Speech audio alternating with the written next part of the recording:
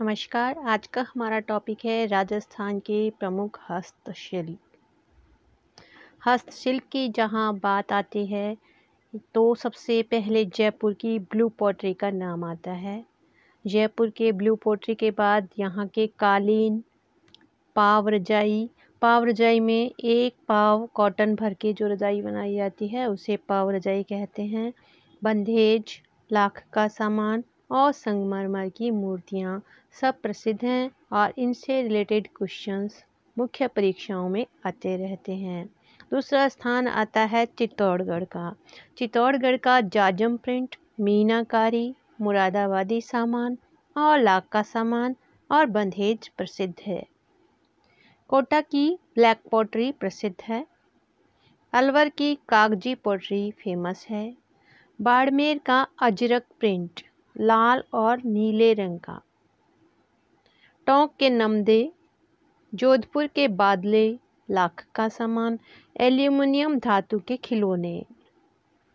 बीकानेर की उस्ता कला, शाहपुरा भीलवाड़ा की फड़ पेंटिंग प्रतापगढ़ की थेवा कला, अकोला की दाबू प्रिंट नाथ द्वारा राजसमंद की पिछवाई मोलेला, ये राजसमंद में है। यहाँ का टेरा कोटा, यानी मिट्टी की मूर्तियाँ प्रसिद्ध हैं। कैथून कोटा में है, जहाँ की मसूरिया, साड़ी और बारीक बुनाई जो है वो प्रसिद्ध है। उसके बाद आता है जरी का काम। जरी का काम कपड़े पर दो प्रकार से होता है।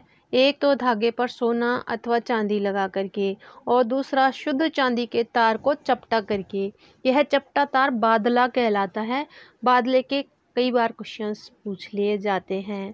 ताश सूती ताने पर बादले के बाने से बुना जाने वाला कपड़ा जो है ताश कहलाता है।